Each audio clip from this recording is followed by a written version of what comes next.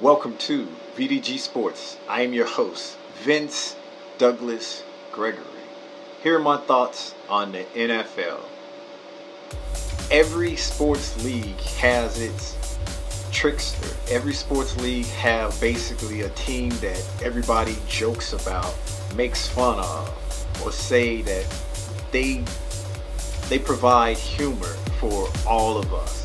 Now, I think it'll be my team. I think it'll be the Chicago Bears or possibly the Atlanta Falcons because the Falcons always find a self or always find a way to falcon it up. And the Chicago Bears hasn't been on anything or been about anything in over 20, 25, 40 ish plus years.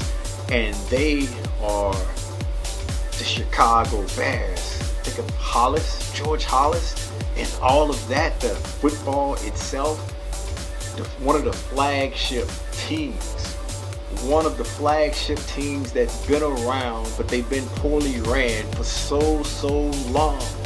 I would think that it'd be them. Some people would argue and say, yeah, it's them all the way.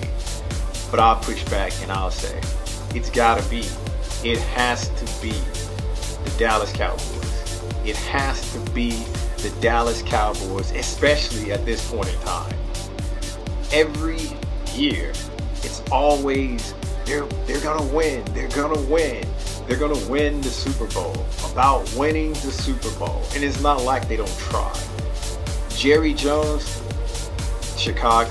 Well, Jerry Jones, the Dallas Cowboys owner, he does everything in his nature. He does everything in his power to put them in a position. Sometimes he overreaches.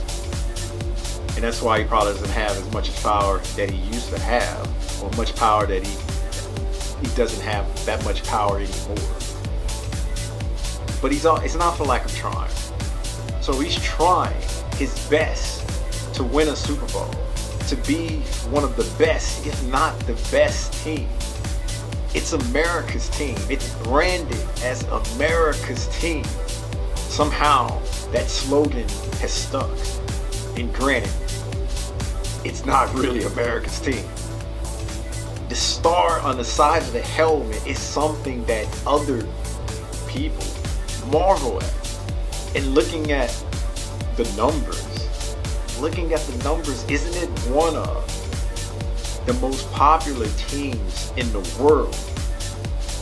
So with all of that being said, for them to go on this slide like they always do, usually at different points in the season, usually at different points or something happens like maybe a Tony Romo muffs or, or fumbles the uh, the snap or not the snap but catching and you get it there's a lot of stuff that you can go and just google and find but that leads me to it has to be the Dallas Cowboys. The Dallas Cowboys have to be that team in the NFL that everybody laughs at, that everybody makes fun of, that everybody jokes about with other fans that's non-Cowboys fan because you're a Cowboy fan, you're winning it all the time every year. It's good to have expectations. It's good to think that way. But when there's no results or when that thinking is like thinking pie in the sky, at some point you're gonna have to come back down to reality. At some point, you're gonna have to be with the rest of us in this realm and realize you ain't that good and sometimes you're overrated. You're not that good and you're overrated because of the hype machine, because of the PR spin. I'm not blaming you. I'm not faulting you. It's good to ask for the sky. It's good to ask for the world. It's good to ask for things that you can't get. Because if you get something that's close to it, you're happy. You're happy.